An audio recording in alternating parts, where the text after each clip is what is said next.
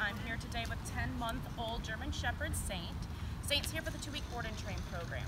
Um, Saint previously has had extensive training. He was supposed to be a police dog, um, and the family that ended up with him uh, just really wasn't experienced in his training or his commands, and they tried working him with it, but um, it really just never worked out for them.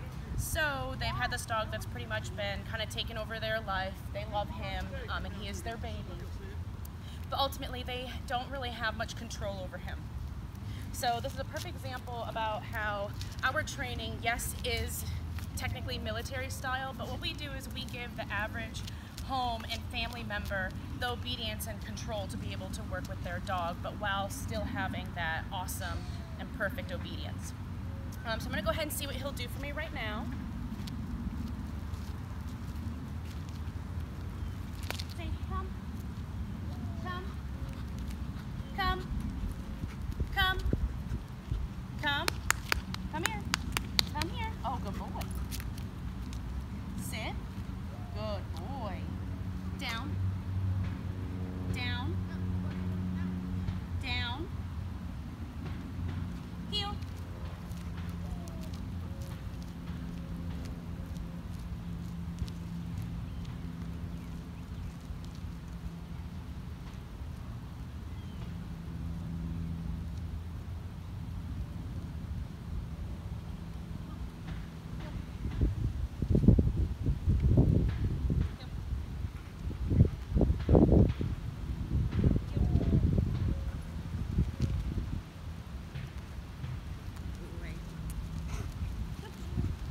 All right, so that's what he's willing to do for me today. Um, in addition to the owners just not knowing how to use him and the commands that he does know. Um, they have a cat and he is very reactive towards the cat and they think that he wants to eat it.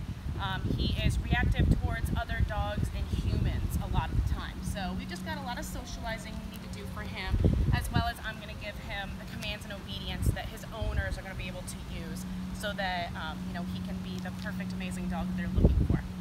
I look forward to showing you guys his progress in just two short weeks. Saint.